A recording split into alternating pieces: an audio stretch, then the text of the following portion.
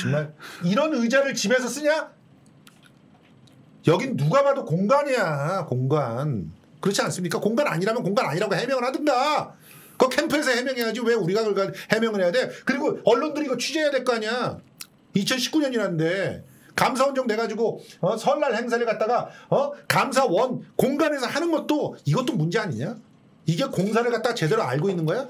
그럼 여기서 그 국민 의례만 하면은 그 공사를 갖다 오히려 국민 의례를 갖다가 사적 모임에서 하는 것 자체가 공사를 구분 못하는 거 아닙니까? 파시스트도 아니고 파시스트죠. 그러니까 파시스트 파시스트 선언이라고 봅니다 저는. 당연하지. 근데 이걸 자랑스럽게 내놓은 거 보니까 그냥 뼛속 깊이 파시스트야 아주. 제가 내가 만약 아들이었으면 들이받았다니까? 저거 아니야 자식들은 그렇다 착해, 쳐도 자식들이.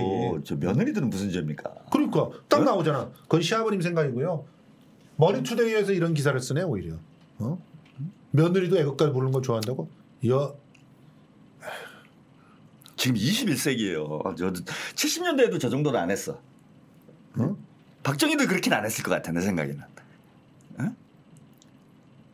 어? 애국가를 뭐 부를 수는 있다고 봅니다. 근데 왜 꼭 사절까지 불러야 돼요, 그거를? 아니 집에서 사적 모임 하는데 무슨 애국가를 불러? 아이고, 뭐 이게 치- 무슨 우상, 우상 숭배도 아니고. 아, 뭐 취향이 그럴 수 있지 뭐. 그건 개인 취향이나 칩시다. 아니 장로래잖아 기독교. 나는 기독교인으로서 저런 우상 숭배자가 기독교인 척 하는 것들이 너무 혐오스러워 진짜. 어, 그럼 또 안 되네, 맞아. 당연하지. 기독교인들이. 뭐 국가주의도 아니고 국가가 신이야? 이러고 있질 않나. 어? 그런데 이런 애들은 보면 뒤가 구린 애들이에요. 솔직히 우리가 예전에 그 소설에서도 많이 우리가 확인을 하고 그랬지만 꼭 친일파 애들이나 어? 뭐 이전에 국가한테 큰 잘못 저지른 애들, 민족한테 큰 부담을 지- 지은 애들 그런 애들이 이질을 한다? 꼭 그렇지. 예. 예, 숨겨야 되니까. 단독 검증 기사가 하나 떴습니다. 여러분들께 이 기사 소개해 드릴게요. 할아버지 최병규, 최재형의 할아버지 최병규는 진짜 독립유공자일까? 예. 왜? 보훈처에 있는 공은록에 독립유공자 최병규가 없어요. 그럼 아버 하, 그 할아버지가 독립유공자란 말은 누가 만들어낸 거야? 뭐 집안에서 만들었나 보죠. 자, 그럴 수는 있어. 그러니까 이 공은록에 기록은 안 돼 있는데 그래서 뭐 심사나 이런 데서 떨어졌거나 아직 충분한 자료가 없어가지고 그것을 인증을 못할 수는 있어. 그래서 이, 이 기사가 이 오마이뉴스에서 올린 기사인데 기사를 쓰신 분이 지금 이분이 그 김학규 선생이라고 해가지고 전문가예요. 이 독립운동가 연구를 하시는 분이야. 자, 이분이 보문처 공운록에는 독립운동자 최경 최경 최병규가 없고 어디에 자기 그 아버지가 독립운동가였다라는 주장이 있냐면 최재형의 아버지가 쓴 회고록이 있어요. 최재형의 아버지는 이제 해병대 예, 출신으로 유, 네, 유공자예요. 한국전쟁 때뭐 네, 한국전쟁 유공자예요. 네. 근데 한국전쟁의 유공자였던 친일파들이 굉장히 많죠. 백선엽이도 있고. 아 군대 자체가 좀 의욕이 있는 군대죠. 아니 솔직히 예. 말해서 그때 당시에 씨, 친일파들 이 일본 군 육사 애들 뭐 다 박정희 이런 아, 애들 다 박정희. 데리고 와가지고 네, 백선엽 뭐 다 유명하지. 아사리판 군대였잖아 솔직히 그리고 그때. 장교였다면 네. 어, 장교였다면 더더욱 왜냐하면 그 장교 교육을 받을 수가 없잖아요. 그 짧은 네. 기간에 네. 예, 장교였다면 더더욱 어, 일제 시대 때부터 뭔가 예, 연관이 있을 수 있죠. 자 음? 그러면 한번 봅시다. 그 바다를 품은 백두산이라고 하는 회고록 안에 나와 있는 내용이 사실인가? 여기서 뭐라고 얘기했냐면 2002년 10월 13일 항일 독립운동 공로로 대통령 표창을 받았다라고 기록을 해놨어요. 2002년이면은 대통령이 누구죠? 노무현 대통령 때죠. 예. 아 김대중 대통령 때인가 노무현 대통령. 아 노- 막 바뀌는. 바뀌는 그 시점인데 10월 13일이니까 김대중 대통령, 김대중 때. 예. 이제 표창을 받았다는 네. 얘기야. 근데 감옥 생활을 하지 않았기 때문에 훈장을 못 받았다 이렇게 주장을 했는데 아예 자료에 표창 받은 사실 자체가 없어. 표창 받은 기록이 없어. 자, 그해 8월 15일에 광복절에 이제 광복절 앞두고 표창을 한 사례가 있어. 10월 13일에는 아예 표창 자체가 없었고 독립운동가의 서훈이나 표창이 없었고 8월 15일 앞두고 표창한 게 있는데 208명의 독립유공자를 새로 포상을 했는데 거기도 최명규라는 이름은 없어요. 없다고.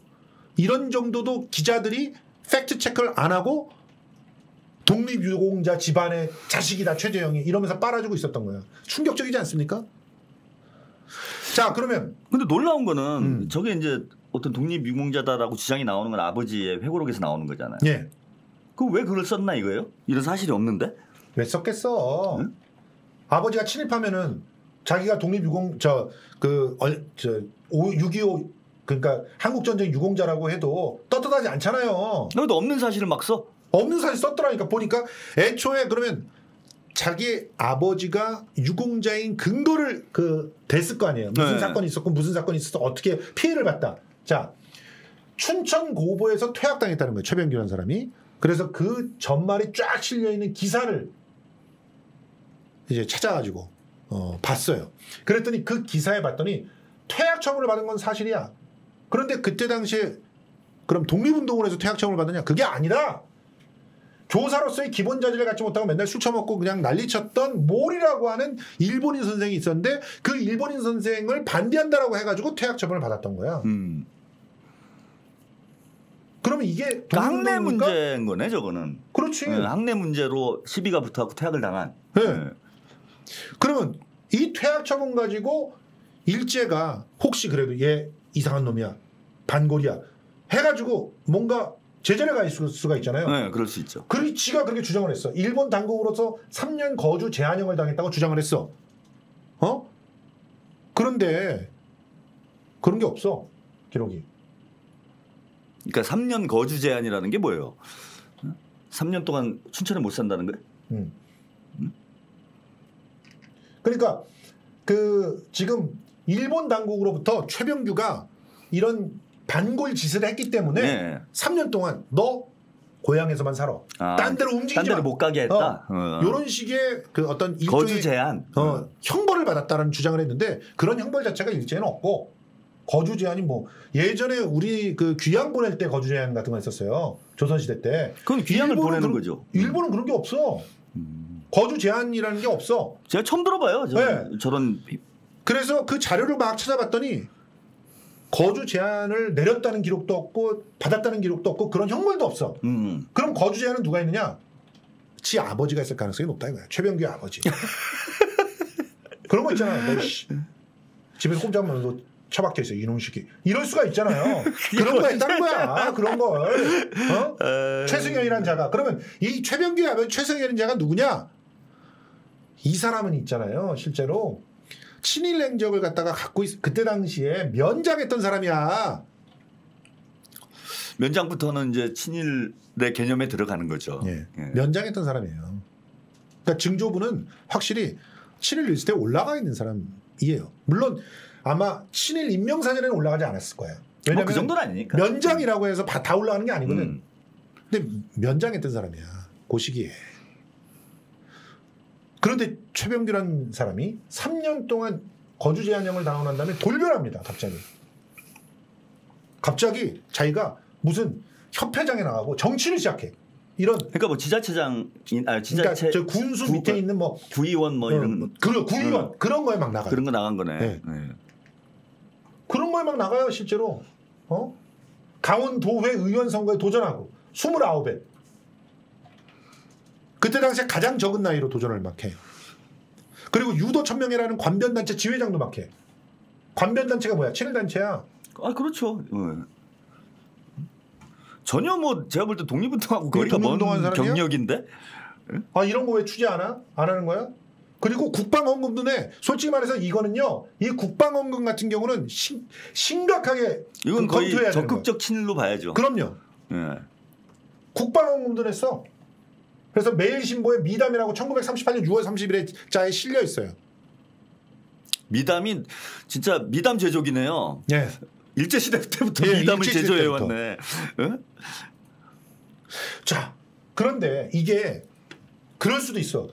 이렇게 국방헌금을 내면서 협조하는 척하면서 뒤로 독립운동을 하다가 음. 만주로 망명을 하고 막 이랬으면 또 독립운동을 했다는 게 입증이 나오잖아. 근데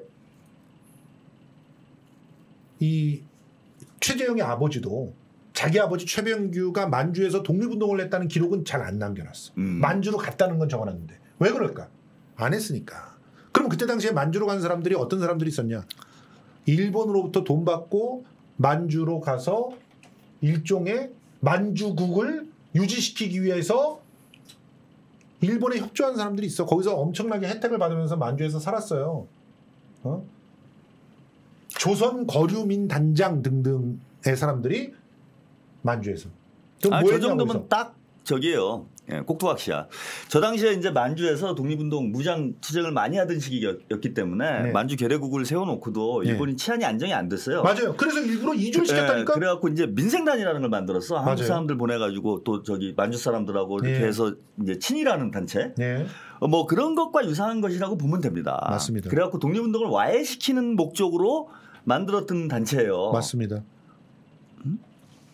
거기 가서 이런 사람들이 뭐 했는 줄 알아? 국방 헌금 걷고, 네. 어? 그 다음에 뭐 민방위 훈련 비슷한 거 막 이렇게 할 때 주도하고. 그랬던 사람들이에요.